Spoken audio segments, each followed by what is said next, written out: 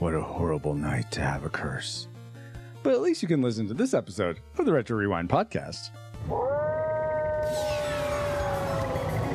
Reflux capacitor fluxing. Crew to stations.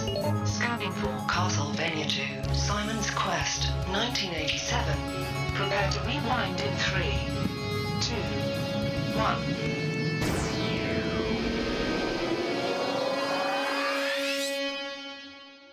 Welcome, Rewinders and new listeners, to the Retro Rewind podcast, where we take a fresh look at movies and games from 15 or more years ago. I'm your captain of the pod, Francisco Ruiz, and I'm joined by your exo and mine, Paul the Vampire Interrupting Powers. Hi, I'm PaulJPowers.com, and oh, what a horrible night to have a curse! Whoa. Shakespeare over here. Uh, also, for this discussion of the game Castlevania 2, uh, we welcome aboard pastor, streamer, and Doom Demon Slayer, Dustin Phillips, aka Pastor Dustin. Hi, everybody. Happy to be here. It's going to be fun. So glad you're here, Dustin. Uh, and in addition to Dustin, we also have back with us our tactics officer and games correspondent, Kitos Ruiz. Welcome back, Kitos. Hey, thanks for having me back. Of course. Now that you have a quick flyby of who we are, Paul, can you give us a quick overview of the production specs for Castlevania 2? Sure, Castlevania also, 2, as well as was recorded, or no, sorry, it came out August 28th, 1987. But in what country? Japan? USA? I don't know. They're different J- dates. Japan. That's the Japan. Japan. Yeah, Okay, so it was initially released August 28th, 1987. correct. in Japan. The playtime averages is about four hours if you actually know what the heck you're doing. And there's a record speed run of 30 minutes and 52 seconds by SBD Wolf. I guess that's silent but deadly farting wolf. Rated E. Directed by, sorry for the mispronunciation here. My Japanese is horrible. Gomenasai.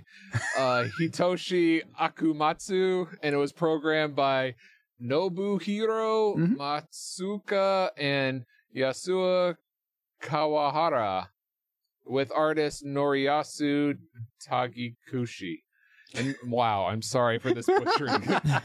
the music was composed great. by uh, Kenshi Matsura Matsubara. Let's sure. Okay, Yeah, we'll go you that. ready for the box office game? I suppose. Okay, Castlevania 2 was not released in the box office. What? Oh my gosh. oh.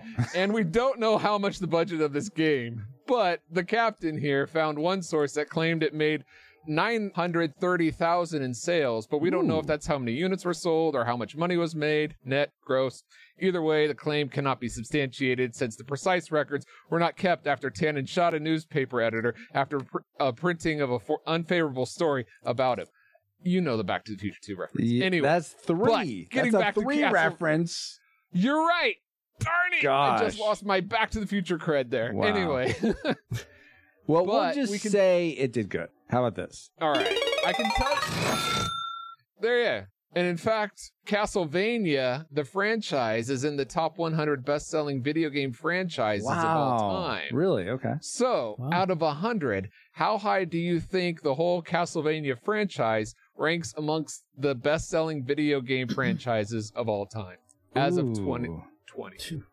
Wow. Okay. Well, let's start with our hmm. guess and chat. If you'd want to give a guess too, of 100, where does Castlevania just the Castlevania franchise right now? Castlevania 2, but the franchise rank with all the other franchises? Let's start with Dustin. What's your guess?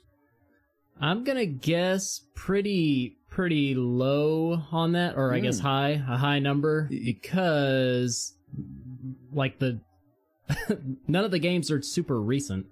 Uh, but there are a lot of them. Man, I don't, I'm going to guess uh, let's say 62. 62. Okay. How about you, Kitos? Ah, man. It's, yeah, I know there's been a lot of games, and I would say at least.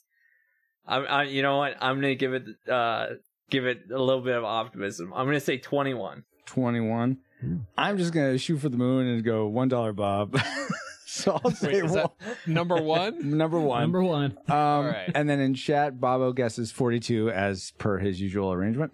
Uh, Dale guesses 10, Geek Devotions 15, Enthusiasts 1. Oh, there you go, Enthusiast. Uh, Matt Plays 22 says 8, and Ray Will guesses 23. So, Paul, where does it rank in all the video game franchises in the top 100? The answer is 89. So What? Pastor Dustin Oh wins. wow! Let's Wow. go. Well done, By the Pastor way, Deucin. Mario holds number one. This is Wow. way better than Mario, but whatever. oh, cool. Okay. All right. Thank you, Paul. Uh, and thank you for those factoids. And let's see if any, any of them factor into our memory mind meld or subsequent roundtable discussion, which we will get into once Alice has located our target game.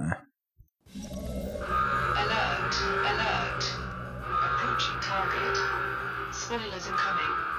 Establishing analysis vector. You left him for dead in Konami's Castlevania. How foolish to presume he'd perish without leaving a curse.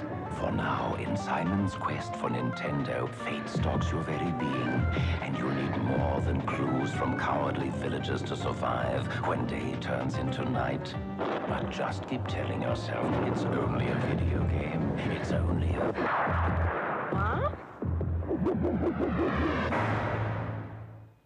kind of creepy. Well done. yeah. Totally. I'm, that's one of the best game ads I think we've ever had on this show. Yeah. I like that. But uh, that commercial uh, kind of brings back some memories about actually playing Castlevania 2. But to give you some context for the things we collectively remembered most before our replay, uh, here is our memory mind meld synopsis of Castlevania 2 Simon's Quest. Uh, now, here's what we remember about the story. Uh, after Simon whipped Drak's head off his shoulders in the first game, Drak put a death curse on Simon. Now Simon has to travel from mansion to mansion across Transylvania, including Dracula's castle, to find Drak's body parts and bring him back, just so he can immediately kill him again and undo the curse. I'm not sure why that works. For the gameplay, what we recall is boring side scroller of a Metroid exploration experience where basically you just get lost and frustrated for several hours at a time. Jumping wolves, skeletons, and fishmen are everywhere, and they get stronger at night, breaking lamps and torches to gain back health that I lose from mu- from a bunch of zombies constantly spawning and running at me. Sub weapons are virtually non-existent, and the awesome Morningstar whip is the only thing that matters. Also, that slow, awkward animation of going up and downstairs. and finally, for multiplayer, what we recall is nope, unless you count those people watching, then everyone can be bored. What?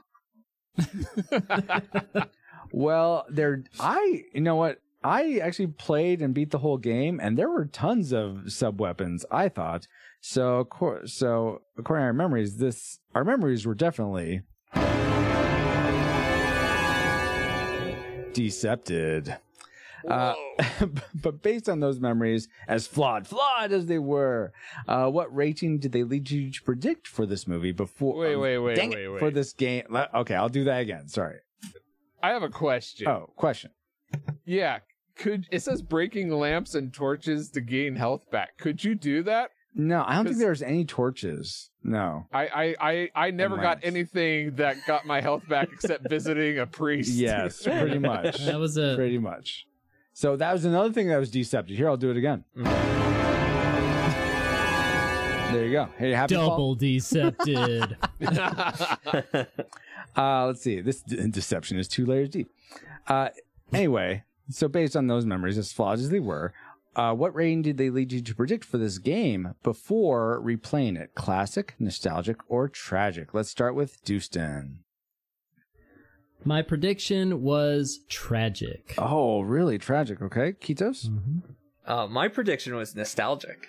Oh, okay. Nostalgic. How about you, Paul? And Paul, was this the, this wasn't the first time you've played this game, right?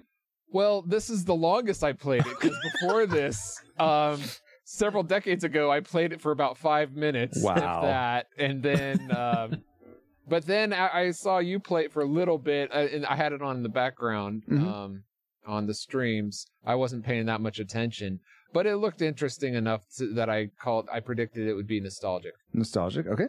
And I actually predicted classic. I had really fond memories of this uh, growing up. That's actually why I picked it for my birthday pick uh, this time this year. Uh, so yeah, I predicted classic. And it'll be interesting to see if any of those predictions actually come true. But first, let's get into our discussion, you know, this roundtable of the things we liked most about Castlevania 2. Let's spin up our Best three. whip up our best three. Is that what you like, Paul? Yeah.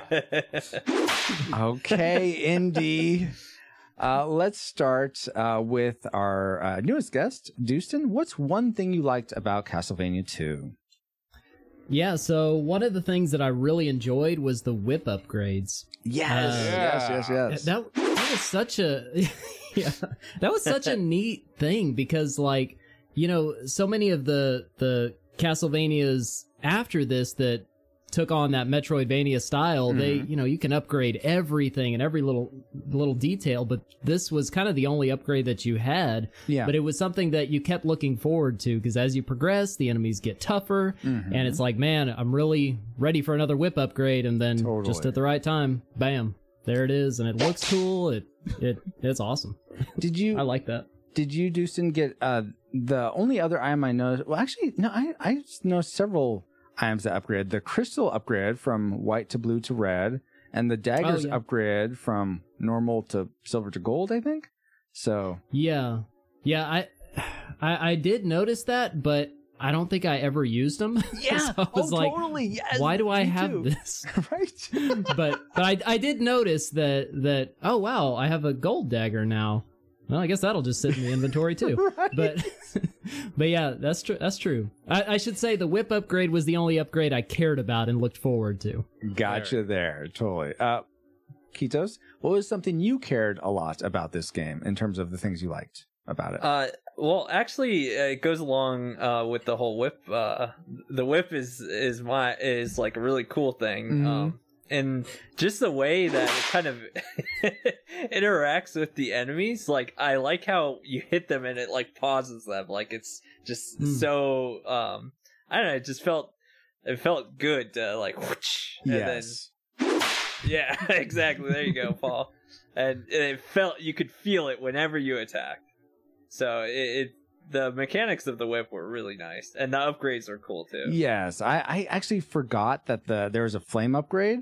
I, I just remember as a kid thinking the Morning Star, whereas you get the it sort of uh, glows and there's a spike at the end. I thought that was just the coolest thing, and then to get a flame upgrade in this, I'm like, oh my gosh, even better. That's so cool. Um, but uh, let's go, Paul. What's was I, you were liking these whip whip sound effects, and uh, was the whip something you really liked about this game? Yeah, I like the just the concept of the what you guys talked about. I wrote down powering up of weapons. Yes, So yes, yeah, yes, I only yes. used the whip too. Forget the daggers.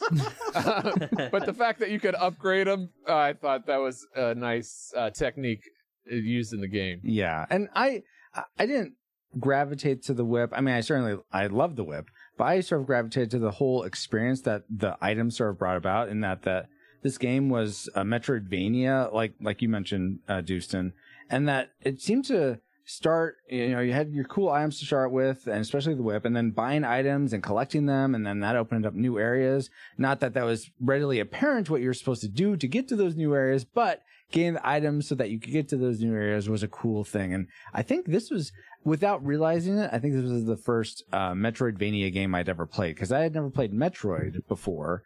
And so that, that was a really cool experience. Uh, let's go back around now to Dustin. What's something else you enjoyed?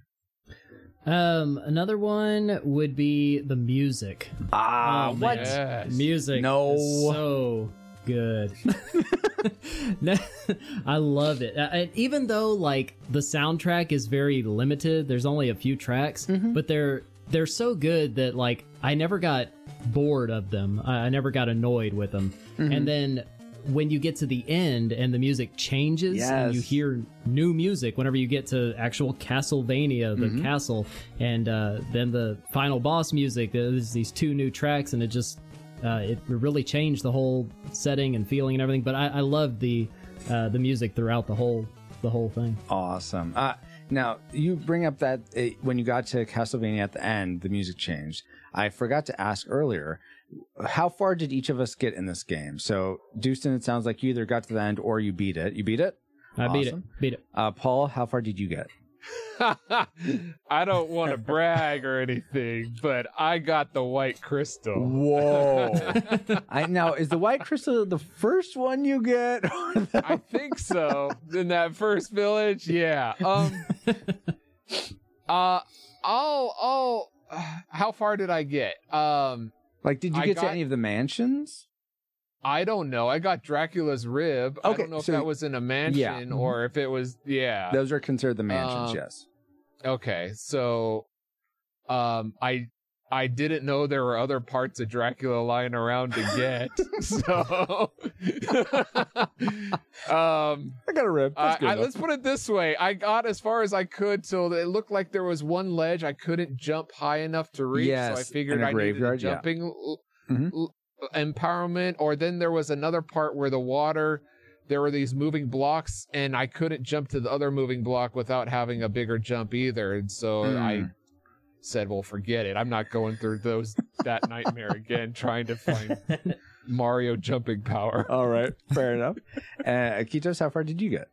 Uh, I actually don't really know. I know I Oh. got into like a few different mansions, but Mhm. this kind of goes into my dislike section. Okay, so then we- we'll, we'll get into that. we'll I almost there. saved mine from my dislike Okay. as well, but we'll, we'll talk more about that there. Yeah. Uh, well, I will say I, I uh, just like Dustin, I beat it as well. It was my first time being it. I'd never been in it before, and that was it was a it was a mixed bag experience, we'll say. Um, but uh, regardless, so uh, Dustin, you really liked the music. Uh, Kitos, was the music something that made your like list, or was there something else? Oh yeah, I mean, I instantly put all these different songs onto my my YouTube Right? playlist. Oh my goodness. Yeah. hearing, hearing them again, I'm like, oh, that's great. I need these. Have I you- need these Yeah. again? Have you guys going off a tangent again? Uh, have you guys heard of the Megas, the Belmonts? They're sort of lyrical covers of a lot of Castlevania music, or they do a lot of Mega Man music, but they also have branched off and done Castlevania music. Oh, I, I knew I know of the Megas, and I've heard some of their Mega Man stuff. I didn't Mhm. know they had done Castlevania. Too. yeah, they've done Bloody Tears, which is amazing, and also Vampire Killer, which is really, really good. So I highly suggest those. But this is recommendations. We're not doing new tubes right now.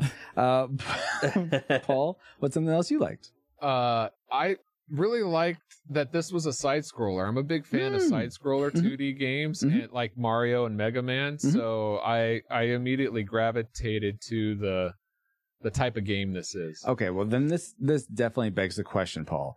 How do Yeah. you feel about the whole uh jumping when you jump you can't move. You you use whatever inertia you either left with, whether it's no inertia or lots of inertia. How do you feel about that mechanic in the game? I will give you a hint of my dislike. of- never mind, never mind, never mind, never mind. Okay. I feel like that's Francisco's favorite question in platformers. What? Well, I'll Have tell I you asked what. that before? I don't recall. I I do like the realism. Like, no, Oh, sir, sure. you're not going to jump off stairs. Like, What? Come on. Parkour, Simon. Uh, all right. Well, then that leaves uh, one more thing I liked, which was uh, the. I thought the mansions. I really liked how they were interesting puzzles. Like you had to figure out like some of sometimes there were like floor bits that were like disappeared, or you had to like use your holy water to uncover parts, like especially uncovering those little books or parchment pieces of paper to like get clues that weren't really that helpful, but that you could unlock those things. I really, I really liked those dynamics of the mansions. So that's one last thing I liked it. But now it's time to get into our classic makers, the things we loved most about Castlevania 2. And since you guys stole mine, I'm going to go ahead and say, yes, the music is so good. Oh my goodness. I loved all the music. The, the night uh, music, I think in the was my, night music in the towns the same as outside? I feel like it was a little different, but maybe not. no, it was. I think it was at least this- the first town and the first outside that my little area that I was in. Well, regardless, that there was one of the night musics that I was like, eh. But yeah, the, the mansion music, the the Bloody Tears main music, and the outside during the day was great. Um, I, I like Well- so much of the music. That's my classic makers. The Oh, music okay. in the woods, outside during the day. Mhm. All the others can take a Mhm. flying crap. I, at least the ones that I heard, it wasn't that interesting to me. But I didn't, you know, get as far as some people. So there may have been more interesting music that I just didn't get to. Fair, fair. uh, Kitos, let's go with you next. What was your classic maker? For for me playing this game, the classic maker had to be the environments, Mm. like the different Mm. places you'd go to. Mhm. Um, Oh, like Halloween Town, and then Halloween Town, and then next door was Halloween Town. well, I Oh, mean, Don't forget Halloween River Town, Paul. yeah. the Mhm. forest, the cat, the dreary castles, like e- everything had a very dreary tone and Yeah. like uh, a dark, dark, uh, dark uh, environment to it. So it it it felt like I was, you know, in this like this, you know, it, It- felt like I was hunting vampires. Yeah. Well, Like, yeah, It, it definitely put you in another world. You felt like Yeah. you were. Yeah. Some, it transported you there. Yeah. And Yeah. yeah. and the way the art design, I felt like it was really evoking the sense that Dracula's sort of presence or curse, even though he was Mhm. dead and in pieces, was still over the whole land. And yeah, mhm. you Yeah. definitely get that sense. It wasn't so. Yeah. It wasn't Mario. I'll, I'll say that for sure. no. Oh my You know, god! smiling clouds. yeah, no. now, so Deucen, that leaves you, and I'm very curious what your classic maker is, given that Castlevania is really high up there on your your one of your favorite Mhm. franchises, I believe. Uh, so in this game, Simon, Simon's Quest, what was your favorite thing? Yeah, and it, it's funny. Uh, I like that y'all all went first because y'all kind of mine is kind of a, a summary of all of ours, and Oh, it's really? the atmosphere. Oh, yeah, okay, the cool. atmosphere of the game. Mm-hmm. Um, just between the the music, the the atmosphere that that brings, the uh, the environments, everything, like the art design, like you're saying. Um, it really does give the entire game like this feeling of dread mm-hmm. um, through the whole thing, and it's it's weird because it is so different from the other Castlevanias. Yeah, like totally. Castlevania One, it's one of my favorite games ever. I love that game. Castlevania Three, uh, so many of them, but Castlevania Two really stands out to me in that department. I can't think of another Castlevania that makes me feel like that. Most of them make me feel like. I'm this unstoppable force. I can do whatever, you know. But in this, I feel like I'm I'm outmatched here. yeah, like, yeah, yeah. Uh, it's, you know, I'm in a I'm in a dangerous place, and then especially at the at the end, like through the whole game, you're seeing these different kinds of enemy designs and mansions, and the, it's all this dread. But then at the end, it's like it all is compacted when you walk that long bridge up to Castlevania. The music changes, and you walk through this long, empty castle, like seeing the remnants of the Mhm. castle you went through in the first game Mhm. and it's just like what is coming? yeah it's a really cool feeling and you're just like what is coming you know i know i'm i'm about to face dracula so very very good at atmosphere Awesome. Very cool. Okay, so yeah, those are the things we loved most about Castlevania. And so now we can get to Wait, Good golly. one thing? Yeah. So Sounds like you need. you shouldn't interrupt yourself, Master Interrupter, with your own whip No. sound. But yeah, I, I forgot something else I liked. Spirit Blade Productions. Since 2006, Peter Fransen has been operating Spirit Blade Productions to create entertainment and resources that equip, encourage, and inspire Christian geeks. And soon after starting this indie studio, uh, Peter expanded to include a ton more content and community under the banner of Christian Geek Central. I'm personally a big fan of what Peter is doing, and you can join me in supporting him on Patreon so that you and I can help keep his ministry going and growing. Not to mention, your support can unlock fun rewards for you to enjoy, which include the first part in the Spirit Blade audio drama trilogy. Head over to patreon.com slash spiritblade productions for all the details. That's great, Francisco. Um, but what does that have to do with Castlevania 2? Well, uh, like the Spirit Blade trilogy has to do with like uh, has the supernatural in it, like angels and demons, and there's supernatural elements in this game for sure. Uh huh. Fine, I take your whipping sound to mean you want some more related to Castlevania 2. Is that right? Yes, please. All right. How about some trivia then? Uh, did, did you all realize that the artwork for the game featuring Dracula emerging on a balcony bears a striking resemblance to the cover of the 1983 Dungeons and Dragons module en- entitled Ravenloft? Have you guys ever heard of this? no, this is the look it up first time online. hearing of it. Okay, so my question to you guys though is, what video game box art inspires you the most, or at least inspired you enough to buy the game that you saw this box that art first and you're Mega like, "Whoa." Man, boy, did that ring true to. Can you bring No, that not one at up? all. if you've never seen the box art to the US version of the first Mega Man, wow. Uh, go and have yourself a laugh. um, You know, that's that's interesting because it kind of ties in with um what I think about this game, which I'll get into a little bit later for my final rating. Okay. Um my parents went and got us kids the uh the Back to the Future NES game. And so a lot of people find that game really hard and really difficult. Mhm. Uh I'm one of them. but it was like one of the games that we had laying around and back then it's like that was your only option if you wanted to play a game That's so fair, yeah. the, i was able to beat it uh it's a lot of hours but be, uh, I, it reminds me of this game that's kind of difficult with puzzles that it takes Mhm. a lot of time Mhm. and i think it was beaten it was by a lot of people back then because they didn't have very many other options back at during the nes days hmm That that's a fair point. But so the Back to the Future art inspired you to Yeah. get that game? Oh, okay, okay. yeah Thank to you- answer your question. Thank question you for landing that story. I wasn't quite sure. Yeah. uh, Deucen, how about you? Can you think of one? Yeah. Uh I'm thinking of a couple of uh box arts that that really like stand out to me. I'm I can't picture one that like inspired me to actually purchase it, but so I can give you an answer to the question. I'll go with a couple that really actually just like make me want to play the game. Yes, A- perfect, and perfect. Yeah, and one actually, uh, probably maybe my favorite is Castlevania One It I love so good. Oh my god, box yes. art.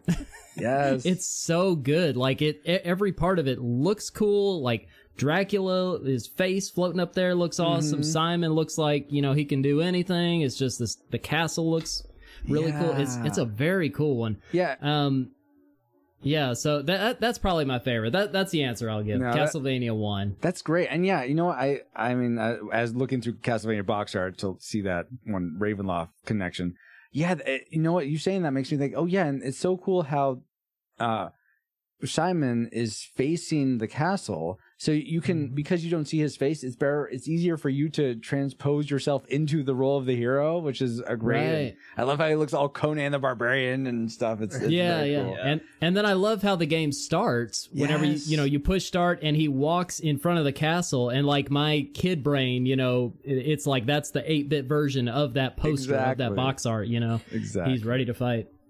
So, uh, Kitos, how about you?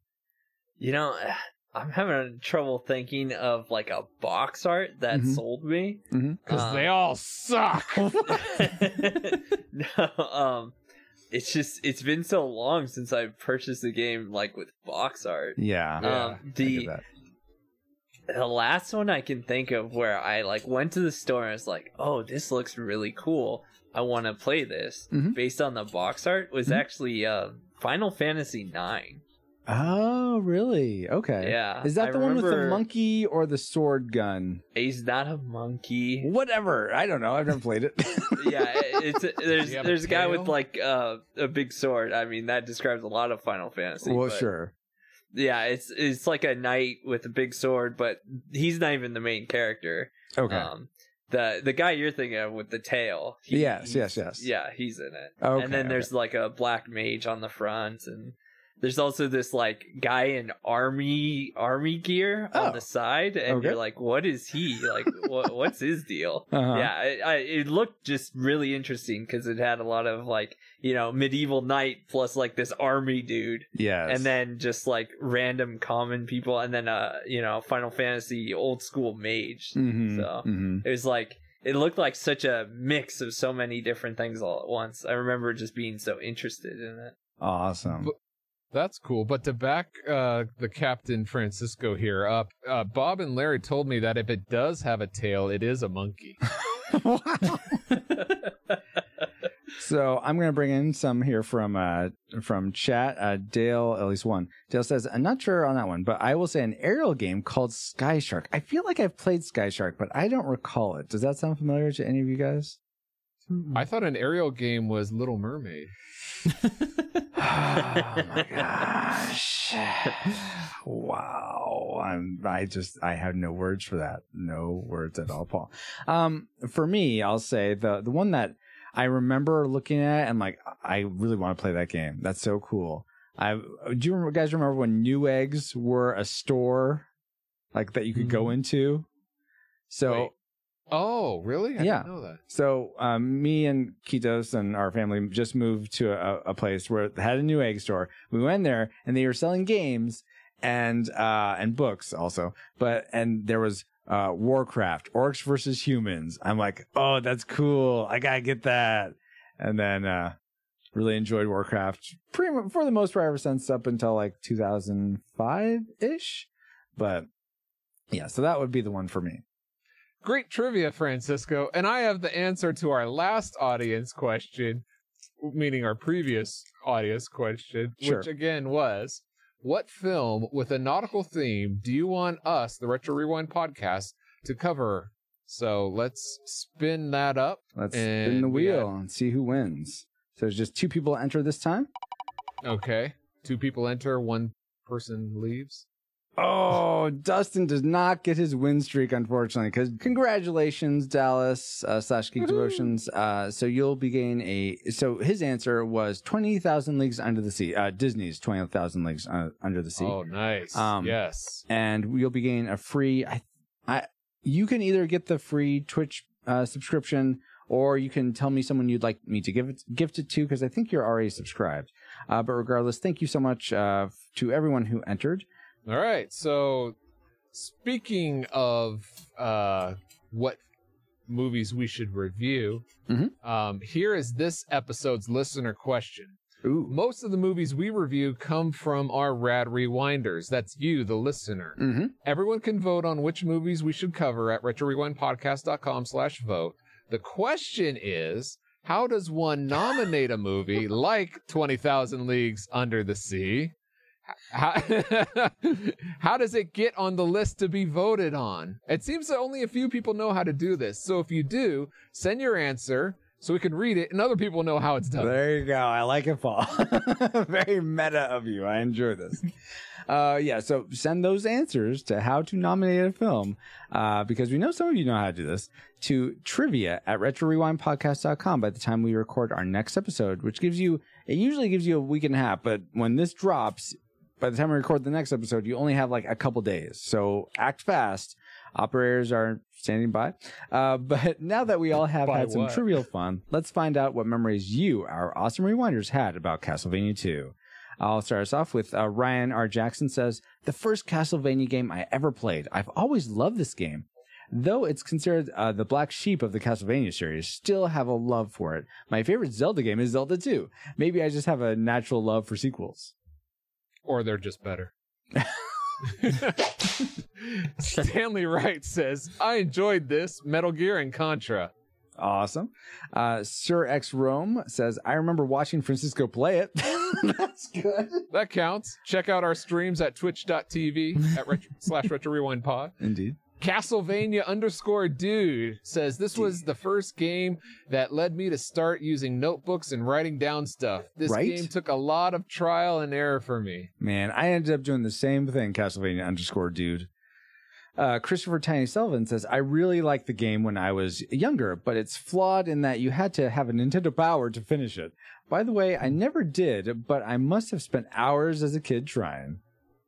Man, I thought he was going to say Nintendo Power Glove. I'm like that would be insane to try to use that to be. Dun, dun, dun, dun.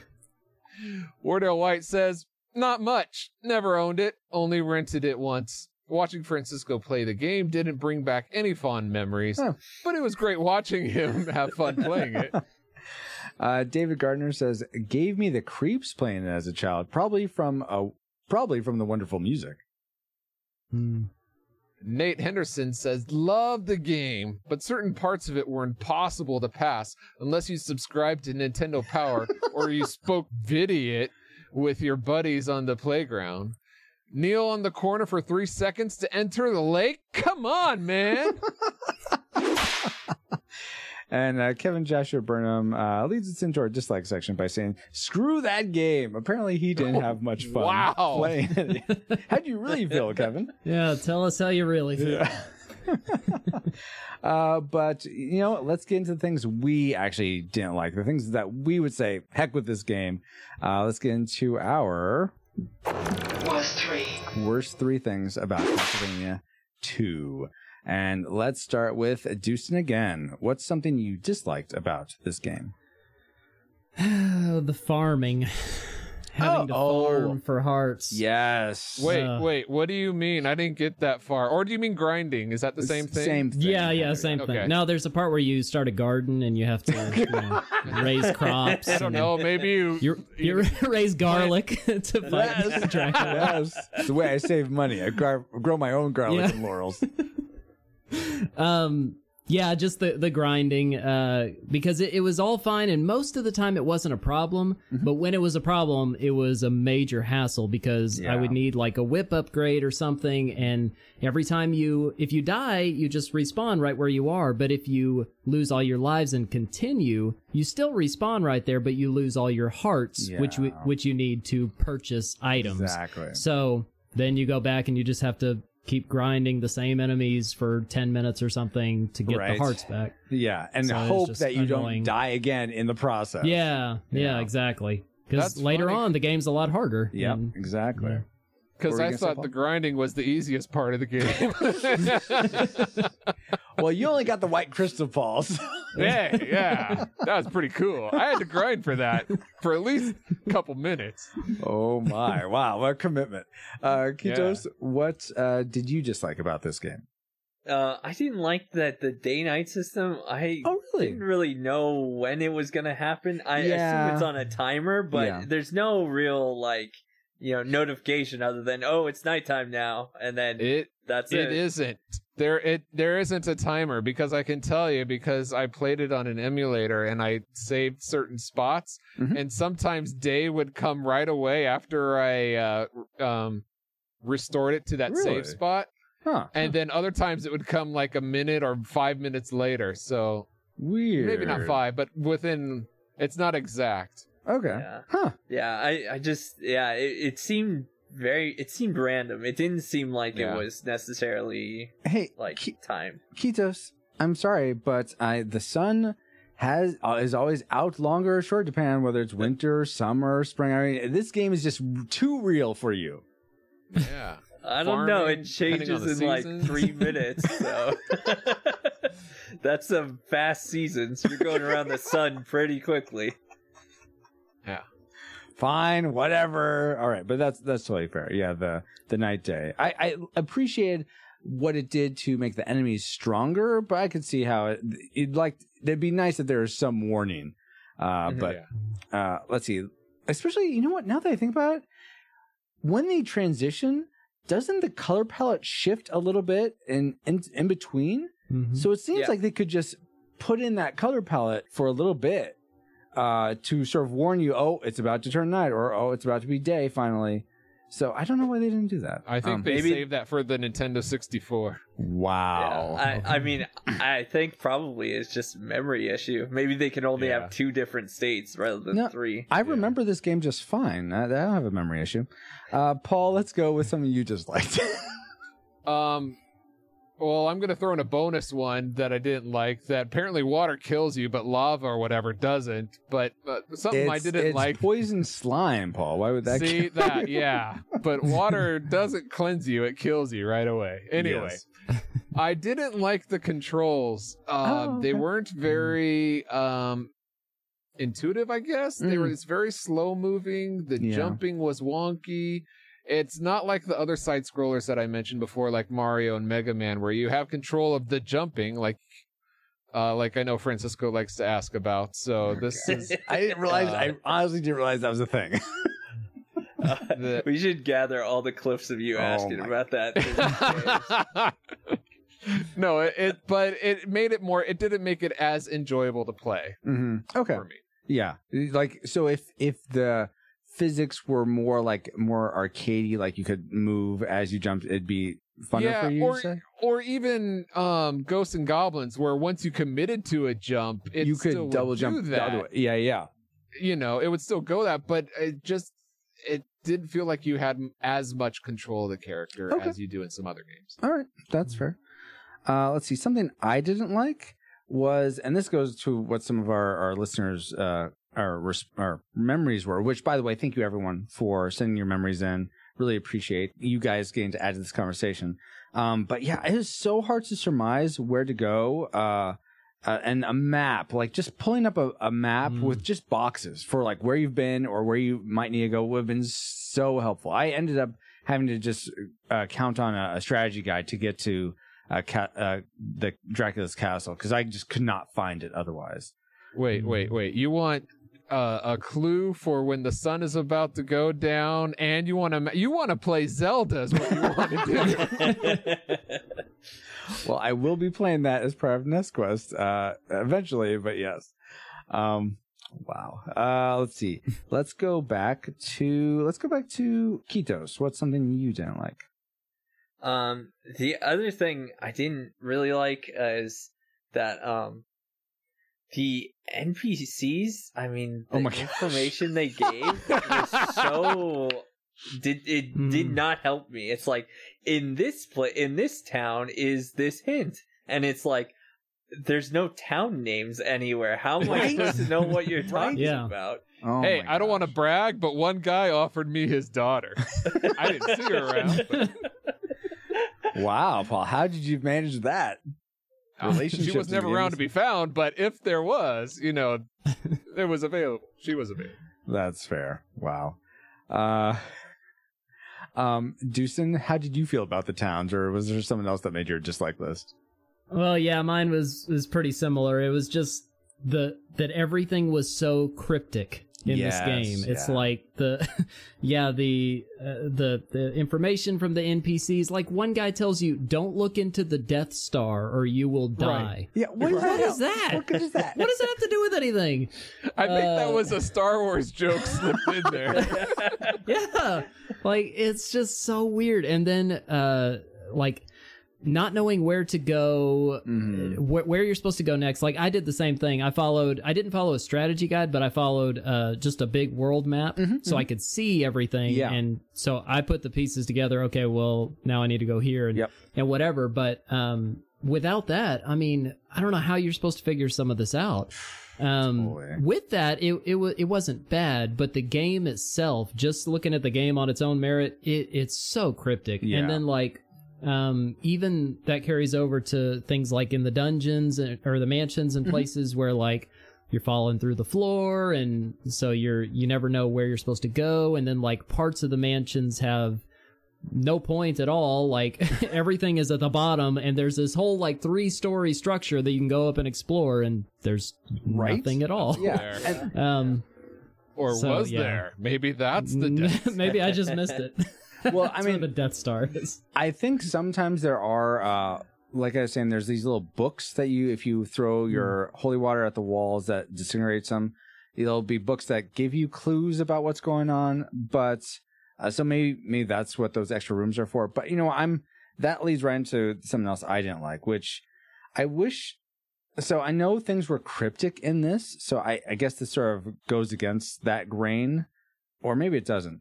But I both wish that there was more story in this game, like that through the dialogue. Maybe maybe that's what it is. Erase the crypticness and actually add story, add add things that Mm. make me curious about. Okay, why am I going to this mansion? What happened there? Why? Yeah. Like something that's like, yeah, at that mansion they love baby back ribs or something. It's like, oh, I wonder if I get Dracula's rib there or something. I, I don't know. That's a horrible example, Wow, but just something, something like that that evokes. Oh, I want. That's a clue to what I might find there, or what why there those acolytes there had that piece. I don't know something something that increased the lore of Castlevania. As opposed to, yeah, you can have my daughter, or oh, you're attractive. Can I go home with you? I mean, just things like that that serve no real purpose. Um, and coupled with that, I would have preferred bosses at each mansion. I don't know. If, I mean, I liked, like I said, one of my likes was the maze, sort of the interesting puzzles in the maze in the mansions. But I would have, I there were I think there's two. There's the Carmilla, which is that weird gray face, and then the Yeah. Reaper. Um, Right. and and two of them. But I would I would have liked bosses in each one. I sort of missed that from Castlevania One, and uh, yeah, so that's just something else I didn't like. The limited story, if any, um, and lack of bosses. But I guess I, I like like Keto said, maybe it's a memory thing. I'm not remembering the bosses or something. Um, or maybe it's a memory thing it couldn't hold anymore. I I know I was making a joke this whole time, Paul. Oh, sorry, I took it Oh, literally. my sorry, I need to be, you know. Jiminy Christmas. Uh, but Paul, what's one more thing you didn't like before we get to our tragic makers? I agree with everything that you've been saying about being cryptic, and even more so because the difficulty level is set too dang high on this game. I mean, you have jumping blobs that randomly run after you, and then like three or four touches by them, and you're dead, and you lose everything, like your your hearts and stuff. So it just, I I would have liked a little more um strength or something uh, to Mhm. go along with this massive grinding and map Mhm. exploration. You need more strength to do that. Okay. So Oh, at least Or maybe you, when you get for- hit, you don't get t- as much life taken off or something like that. Is that what you mean? Okay. yeah. Yeah. Um, so before we get into our tragic makers, Dale asks a good question, which we haven't, none of us have touched on. So maybe this is one of your guys' tragic makers. Excuse me. And if it is, then by all means, hold your peace. Uh, but he asks, "You guys like the graphics in this game? Watching Francisco play, they they still look like they were still somewhat as rich as they were when we they first hit, when this game first hit the shelves. But do you feel the graphics are were dated? It's a hard question. yeah. Because yes, they're dated, but they do the job. But it's Yeah, not like, oh, you got to check out the graphics on these this game here. Like yeah. I do. it feel, matches the cover art verbatim. I do feel to answer you, Dale, for myself, I do feel that uh, they've looked better to me overall, especially like the backgrounds a lot of the time and uh, the enemies, uh, kind of sort of Simon looked better in this game than in the first Castlevania. Uh, but overall, the I feel like the graphics hold up if you enjoy 8 bit graphics, 8 bit pixel art. I'm more of a fan of 16 bit pixel art. Uh, so the graphics of the Genesis, the Super Nintendo, but that's more just a, a preference. A lot of people just call those all 8 bit graphics. Um, I- anyone else want to chime in? Yeah, I, I would say that while the graphics are dated, at least each graphic you could understand what it is. Like Yes. it, it was, it was very very, easy to understand. Yeah, it was very clear. Uh, okay, that's a tree. Okay, that's an enemy. Like, okay, That's these are stairs. Like, Mm-hmm. it, it, there may be a few things that were a little unclear, but Mm-hmm. for the most part, it was pretty easy to tell what things were. And some of these older, dated graphics, sometimes they'll put in stuff as like, what is, that? supposed What am I looking to at? be? Yeah, like Oh, that's the med bay. Well, it would have been helpful, you know, 20 lives ago. Um, yeah, exactly. so I, I will say the game, while it looks dated, it's still it's nice. It's clear and understandable to play through. Awesome. Yeah. So let's go ahead and get into our tragic makers, which I'm just going to go off what Paul said because I completely disagree in one aspect. Um, Excellent. I, man, that Dracula boss. I don't know if it's just I had the crystal, and if you don't get the crystal or the diamond or whatever it's called, it's it's a lot harder. But it was he was such a pushover. I mean, especially mm-hmm. compared to the first Castlevania and Super Castlevania, where I had to work, I had to I had to practice, I had to drill beating Dracula. This guy is like. I mean, I guess he's in a weakened form because he just I was about to emerged say, from a bunch of body parts. but to life? but seriously, still, I, was- I, was- I was really let down by how easy it was to kill Dracula. I was wanting a bigger boss fight. I mean, I was expecting like another form or something. I was like, oh, that was easy. There's another form. Um, but oh, it's just it's too easy. So that's that's my tragic maker for Castlevania 2. Um, let's go with uh, let's go with Paul next. Well, the difficulty I said was too high, but the replayability for this is way too low. Really? Like- oh, I got I I, did not want to when I got to a point where I can't jump, I'm like, good, I'm done. I don't want to. it it did not make me want to. Oh, I gotta find the jumping power now. Let me go and slog through and try to figure out how to to beat these guys again without getting killed for hours. No, here's your problem, Paul. We're going to take away all your other games, so this is all you have. Back to the Future game style. Yeah, exactly. Well, Oh yeah, yeah, yeah. Okay. No, that's that's that's fair. So it's just like it got. You didn't want to replay it because it's just like I don't know what to do. It's too cryptic. I, I Yeah, Yeah, It's, okay. it's difficult. It's not. I can't even jump right. Like that's fair. That's fair. Uh, I know this is like your favorite game series, but what's the thing you hated most about your favorite game series in the context of this Simon's Quest game? Yeah, it's well, it's interesting you phrase it that way because what what kills this game for me is what's so strong in so many other Castlevanias, and it's Oh. a point you've already said is the bosses. Ah, yes. the man ever that's one of my favorite things about the side-scrolling Mhm. castlevanias is there's always this really unique and challenging fun boss that you remember like Yeah. man i struggled against this or that or have you figured out how to beat this guy and Yep. but like the the first two bosses death and the the face they never even touched me Mm-hmm. Yeah, i'm just like yeah. standing there just hit him a few times and well okay that's done and then dracula he actually hit me like twice because i didn't know what to expect he threw Yeah, yeah. those rings at me but he was dead in about eight seconds and i was like well okay right?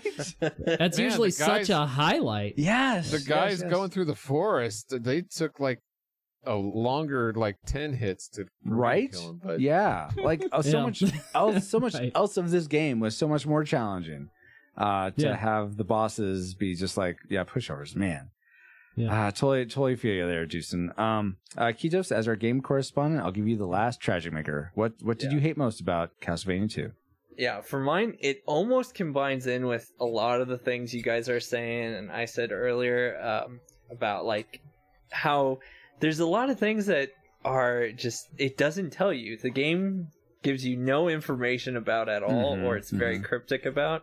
And I, I would almost say no map is a tragic maker, but it's more than that for me. Um, uh, it's it's the fact that the things I remember about this game, I think, is because I watched you play it way back in the day, Francisco. yeah i Um, so as just quick context i Yeah. got this as my I think is either a Christmas present or a birthday present when I was seven. So that's happy that's, birthday. Thank you.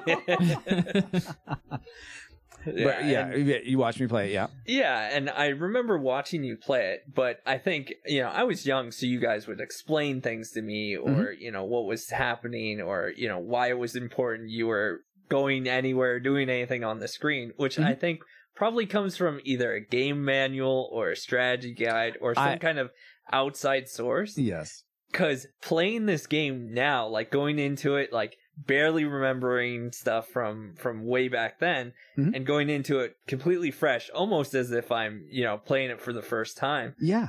it's like what am i doing i had, I had no idea You're like going it- after the- Dracula, obviously. it- it- that's No, the thing it's it's, like well okay Ca- castlevania 1 you killed dracula so what am i doing here like you know Yeah, not there's obvious. no context at all for what's happening and um and like the towns you're in where you're Mhm. at like as someone who didn't know anything i truly didn't know anything i Yeah. felt so dropped in Mhm. and I didn't even know, you know, what I could really do, like what my, you know, I, I knew I had a whip just from, you know, memory, but Yeah. what else? In you fact, know? Like, I, I, I was, I was, I was thinking about this. I don't know why, why I said I was like four times first, but um, I thought, you know, going back to what I said, replayability. If this was like a straightforward, like if you had a map or there was like a beginning and ending, and like finding Dracula's ribs and all that, I didn't know there was a story behind any of that. If they just made it straightforward, and then by the end you uh got to Dracula and you defeated him and then you died and said and the game said, "Oh, you defeated Dracula, but unfortunately you still died from his curse." That would be one ending, but to beat the game, you'd have to go back in the hidden levels to find the different pieces of Dracula so you knew what Hmm. you were doing and the quest for that. I think that would help with the Mhm. story and the replayability. Yeah. Well, yeah. I mean, speaking to that though, Paul, there are apparently three different endings to this that actually. I don't care because I didn't get that far. It, there, it doesn't make me want to try to get to any of them. All right. Well, just for people that are curious at home, I'm going to find this real quick, uh, just so that we can say people know what the three endings are. Castlevania. Yeah. 2. Which one did you get, Princess? I I, got, got- the normal ending. So I don't know which if it's the normal one or not. It's the one where it's black and white, and you don't see Simon. Uh, it just says you you you completed the the curse is gone, and Dracula's dead, and it's it's I forget exactly what it said. I clipped it on my channel. If you want to see the ending, there I have a clip on my channel of me uh, reading very slowly the whole ending. um, but I think Oh, here's it. another boat. While you're looking that up, I have a Yeah, yeah. bonus dislike. It didn't. The Simon wasn't the Simon from Captain N, the Game Master. Jeez, oh my gosh. really, Paul? yes, that would have been much better. Oh my word. You already have that built-in audience going there. I think they would have. My word, Paul. So uh, the three endings are are as follows. Um, so if so, first, uh, if you complete, so this is considered the bad bad ending. Complete the game in 15 days or more. I guess it actually counts the number of days. I didn't realize this, but neither Dracula nor Simon survived the battle. I think that's what I had. Dracula's grave is shown, and text appears telling the player the battle is con- consummated and peace. And yeah, this is that's the one I. So it just gives you text of what happened. The normal ending, which is complete the day in eight to 14 days, Simon defeats Dracula but eventually succumbs to the curse anyway. Simon kneels by Dracula's grave and text appears telling telling the players stuff. So uh, is that the one you got, Dustin? Yeah, that's the one I had. Okay. Uh, and then the good ending apparently is Simon defeats Drac, and this happens if you complete the game in seven days, which that SBD uh, Wolf guy How must can have you done. do that without farming? What? Well, this guy that did it in 30 minutes probably did it. Uh, Simon defeats Dracula and is freed from the curse. He kneels by Dracula's grave, and text appears telling the player that the encounter with Dracula is terminated. Dun dun dun dun dun. Uh, Simon Belmont has put on. Put an end to the eternal darkness in Transylvania. His blood and sweat have penetrated the earth and will induce magic and happiness for those who walk on the land. That's great. So, Thank you. Then uh, it turns into Mario. Got it. Oh my word. But anyway, uh getting back to you guys. So that those are the three endings. I got apparently the bad one. Dustin got the normal one. Uh, and no one got the good one.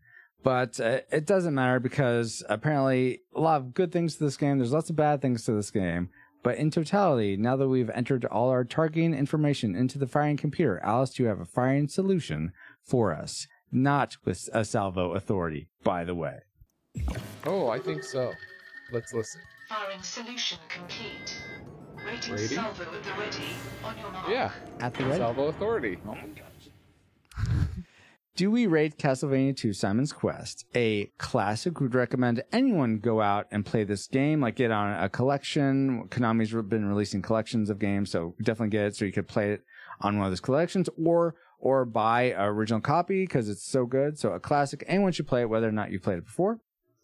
A nostalgic, it's worth your time if you played it as a kid and remember it fondly. It's worth to, you know, revisit it like an old friend. But if you've never played it before, you're probably better off playing one of the other Castlevania games. Uh, or a tragic, it's not worth your time. Even if you have fond memories of, of this game, don't sully those with a replay and definitely head for the hills to another Castlevania if you've never played it before. So we'll start with our, our guests uh, first. And uh, Dustin, what is your final rating for Castlevania 2 Simon's Quest? So my prediction was tragic, Mhm. but my final rating is nostalgic. Oh, okay. Um, playing through the whole game, I never beat the game as a kid. I, I actually played it pretty later in life and didn't get very far. I just played a little bit into it, but uh, playing through the whole game this time, Mhm. um, I think while it does have some very serious flaws and some things that I wish they would do better, like the bosses and, Yes. and fix some of the cryptic stuff and whatever. Um, but I think uh, the atmosphere, the music, those kind of things really do set this game apart and give it um, a unique uh, place in the Castlevania lineage. Uh, I would yeah. I would recommend many before it, but I, I wouldn't say that this is one that just nah forget it exists. Uh, I think it it it definitely has some merit. It's it's worth playing, but I'll give it one caveat pl- unless you know the game backwards and forwards because you played it a thousand times as a kid, play this game with a map or a strategy guide. If you have totally. that, it it can be a good experience. It can be a fun game. Mm-hmm. Absolutely. Uh, let's go with Ketos next. What's your final rating? Uh, so I originally thought it would be a uh, nostalgic. Yep. Yeah. Um, and unfortunately, I'm gonna have to say it's a tragic. Tragic. Uh, yeah. Um, to me, the fact that you know, like, if I thought about someone else playing it for the first time and then Mhm. being dropped into the same game that I w- felt I was dropped into, mm-hmm. I, I could just I could feel the frustration. I could hear the same same issues popping up. Like, where do I go? What am I doing? What is this? Like, and the the worst part is I feel like the game doesn't ever answer those questions for you. Yeah. You'd yeah, yeah. have to get a strategy guide or a map too. So to me, I I, can't, I I have to I have to rate it a tragic. I, I think there's a lot better Castlevania games out there. Um, even even Castlevania One, I would say is better.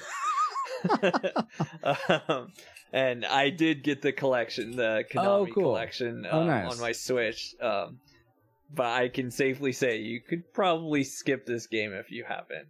All played right. it Before. All right. Very fair. Paul, what say you? I predicted nostalgic, Mhm. and I I can see why people like it um, because of its puzzles. But for me, I never want to play this game ever again. So uh, for me, it's got to be tragic. Oh, man. But I would say you- it's funny that you mentioned uh, we mentioned Zelda earlier with the, um, and that is a game where the, it is cryptic in a way. There's puzzles to solve, and I I enjoy the replayability on that. So I'm not sure why, but I would instead rather play a Zelda game. Okay, that's fair. Um, now, before I give mine, I think this sort of uh, this little preamble I'm about to say uh, gives you some. Uh, we'll get we'll sort of illuminate my answer. So when I was seven or eight, I had to do a book report for for I guess third grade. And I didn't like to read, so I'm like, what am I going to do a book report on? So we go to the library. It's late. Um, I forget who and my brothers went. Maybe all of us. I don't really recall. But um, go to the library. I realize it was story time. By me, Paul. I was like, and uh, go to the library and I found uh, this book that's a strategy guide for all these games, and in it is Castlevania 2. I'm like, oh, I could actually, I could actually complete Castlevania 2. Oh my gosh! So I decided I'm going to check out this book. I use it, I read it, and play Castlevania, and then for my book report, I create a comic book of me going to the library. Are you checking out this book and like d- not I didn't wasn't able to beat it back then, but uh, getting as far as I could, I eventually had to return the book, and so I was never able to figure out where to go uh, Oh. to get Dracula. But, But your teacher accepted that as a book report? yep, What? I, re- I I think I got like a B on it or something. wow. But uh, yeah, so I have suffice to say very fond memories of this game. Unfortunately, it didn't live up to my classic uh, prediction, but it Oh. was a fun thing to play through. And I think if you enjoyed it as a kid, especially like Dustin said, if you have a get a map, save yourself some time, especially if you're a, a grown up, grown up, an adult. I have kids, excuse me. Uh, If you're a big person, uh, save yourself some headache, get a map, get a strategy guide, and just have fun uh, grinding for uh, hearts, you know, farming, growing that garlic and laurels. It's great. No, uh, but just upgrading your whip and uh, killing some baddies. Uh, and you know what? And just know that you get to like. Don't worry, Dracula's a pushover, so you don't have to worry about this horrible boss fight that you need like twitch reflexes to beat. No, you don't. Uh, so I rate Castlevania 2 a nostalgic, which means we're at a tie. Dun dun dun. Whoa. Man.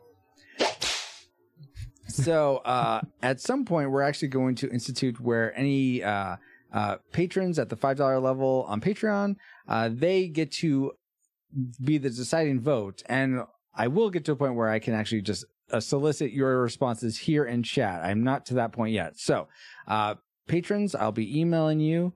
Actually by this time francisco from the future why don't you come and tell us let me let me enter alice uh, please send message to Francisco from the future for final rain. Send. It is I, Francisco from the future. How you guys doing? Glad to be here with you in the past again. Uh, here you need a rating for uh, Simon's Quest, Castlevania 2.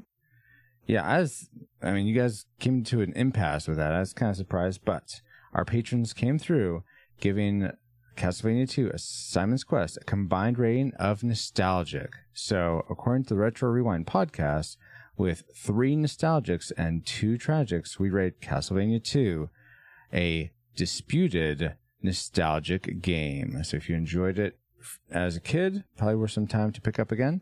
Otherwise, uh, just go on to play some other Castlevania games.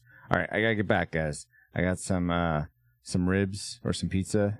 I don't know. So, something's cooking in the future that I have to get back to. Bye now. Oh my gosh, I can't believe really that's what they decided. Wow. That's so weird. I know. Were you guys surprised by that? I'm, Totally. I, I, I'm speechless. I'm shocked. I don't know why I'm still speaking if I'm speechless, but Well, apparently all that's right. what they say. But thank you uh our to our reflex capacitors at the um at the I forget what I call it, but the you the said level five dollar level. Or Yeah, the five dollar level. I have a name for that though. Uh, five dollar Oh. level for helping Oh, us name. design the final rating for Castlevania 2. But you know what? I think it's time to get back to our own time. Good old 20XX. 20XX. Comsat online. Receiving incoming transmission. Oh, good to be back. But we wouldn't have been able to travel back to 1987 to begin with if it weren't for our amazing reflex capacitors, namely Jared Holzhauer, Deborah Powers, Brian Keating, Patrick Hicks, LJ Lowry, Chris Cowan, the Feeling Film Podcast, Peter Panda, Chris Owens, Geek Devotions, The Untold Podcast, Mrs. Lomax, James Caniston, Daryl Hafner, Kevin Joshua Burnham, Drew of the Cellcast, Ashley Cronenberg, Pastor Jason, oh my gosh, you're right here, uh, Kennethan, and new patron, Redeemed Otaku. Uh, in addition to five other awesome patrons as well. Thank you all so, so much for keeping the gigawatts coming. And if you want to help keep us flying for as little as $1 a month and get bonus content for your generosity, uh, head over to retrorewindpodcast.com slash support, where you can find links to subscribe on both Patreon and Subscribestar. And while we're talking about subscriptions, in the month of August, uh, 2020, that when we're recording this, when you're probably listening, uh, we are introducing our sticker tier, where for supporting the show at $15 a month, you will not only get our bonus content, show shout outs, a voice, uh, a vote in our final rain tiebreakers, and a chance to personally pick the movies we cover, but you will also get uh, one sticker a month with the show art for the movies or games we covered and a bonus sticker as well. Wow. But wait, Francisco, isn't there more? Why, yes, Paul. For August 2020, again, the month we're in right now, anyone who raises their current pledge by $5 or is a new patron at the $5 level will get also get the stickers every month for as long as they maintain that new level of support. Whoa, that's a great announcement, Francisco. Are you done now? Uh, do, you- do you want me to be done? And while we're thanking our supporters, we also want to give a big Castlevania hug to our subscribers on Twitch, which is another way to send us a couple bucks a month. And if you have Amazon Prime, you can subscribe for free. Find out how at retrorewindpodcast.com slash Twitch Prime. Uh, but hey, let's keep the gratitude train going now because we love hearing from you, be it our Apple Podcast reviews, Podchaser, Podchaser reviews, comments on our website, or through our contact form. And here's what uh, one of you had to say. Mike Zeroni left us a five star Apple Podcast What? rating. Gives a thumbs up and says Francisco is a fantastic guy, truly selfless, and produces a great show. Aw, thank you so much, Mike Cerrone. I believe you're also Nick's and Mike's uh, when you're here and chat with us uh, on Twitch. But thank you so much for that review. Yes, and thank you everyone for reaching out to us. RetroRewindPodcast.com slash 207 is the place to find timestamps for this episode, links to contact us, and links for voting on the movies you want us to review. Speaking of, we are very close to locking in the three movies we're going to be covering for Sci-Frights in September and October. Uh, so now is the time to vote at RetroRewindPodcast.com slash vote if you haven't. But our website isn't the only place you can reach us. Paul, where else can people find the show and also yourself? PaulJPowers.com is where you can find me, but feel free to talk to us and share anything you like or find funny that is 15 years or older on our social media. We are Retro Rewind Pod on Facebook, Twitter, all the socials and everything. You can join our Discord server by going to RetroRewindPodcast.com slash Discord. So when you go online, it's the Retro Rewind Podcast. Indeed. On social, it's just pod. Pod. So for Discord, go to retrorewindpodcast.com slash Discord. Indeed. And as as I have mentioned, we are on Twitch. You can watch and chat with us live, like these fine folks are doing right now as we record this podcast. Uh, Francisco also plays retro video games like Castlevania 2 and creates pixel art. And you can follow us at twitch.tv slash retro rewind pod. And if you want to find me again, I'm pauljpowers.com. So guess what? Go to pauljpowers.com. dot com. Thank you, pauljpowers.com, for being a fellow vampire slayer, friend, co-host. I so appreciate getting to uh, slay these uh, movies and games uh, with you on this show. Yeah. Likewise. I enjoyed doing this show with you very much. And I'm also grateful for our guests taking uh, time out of their busy schedule Hmm. to discuss Castlevania 2 with us. Uh, so let's start with Pastor Dustin. Please tell us how we can find you online, and is there anything you'd like to promote? Yeah. Um, so I stream uh, every Friday through Monday here on Twitch at uh, Pastor Dustin. You can find me anywhere on the internet at Pastor Dustin Facebook, Twitter, Instagram, Snapchat, TikTok, YouTube, Twitch, all Uh, the places MySpace? spelled the same. MySpace? MySpace coming soon. coming soon. Yeah, just at Pastor Dustin. But um, yeah, primarily you'll find me on Twitter and Twitch. Uh, Awesome. Uh, like I always say, I'm a real pastor who plays Pokemon, Doom, and everything in between. So uh, there's lots of retro stuff on my channel too. Love to see you there. Awesome. Yeah, and I'm Great. I, I was just gonna say real quick, I'm a big fan of Pastor Dustin's streams. He's really fun to watch and engaging. So definitely, if you if you're a- anywhere at all in the Twitch ecosystem and enjoy watching live streams, definitely check out Pastor Dustin. Well, thank you. Of course. And we also like to thank our game correspondents, Cool Woot Deluxe, woot. for joining us yet again for another game. So, uh, Kitos, please tell how people can find you online, and is there anything you'd like to promote? Um, so people can find me online at um on Twitch or Twitter at Cool Deluxe, uh, Q O O L D E L U X X. Um, that's the same on both Twitch and Twitter. Uh, and nothing to promote this time. Okay. No worries. Thank you so much, uh, Dustin, uh, Paul. Paul. Well, I mean, you're always here, Paul. I appreciate you being here too, but Kitos, Wow. Dustin. Thank you so much for being a part of the show, really making it just all that more better uh, to have you guys here. Uh, but that's not all. Mostly, I appreciate you. Yes, you listening right now. Simon, Alucard, Carmilla, townsperson number four. Whether this Captain is your N. Captain Ed. Whether this is your first time listening to the show or you're a part of our Rad Rewinder community, thanks for spending time with us, and we pray you are more joyful now than when you first hit play. I have been and continue to be Francisco Ruiz. Find me on Instagram at FXRUIZX or Twitter at FXRetro underscore. And DM me there, either of those places, probably Instagram uh, more so than Twitter, for pixel art commissions. And also, This stream is sponsored by PaulJPowers.com. and finally, we are proud to be part of the Christian Geek Central network at ChristianGeekCentral.com. You can catch us at CGC or our website, but like a Pokemon, we gotta catch you all for men, manly men. They're men in tight, tight tights. That's right. Robin Hood, Men in Tights. Our next episode for the Retro Rewind podcast. Retro Rewind mission complete. Proceed to nav point Omega and return to base.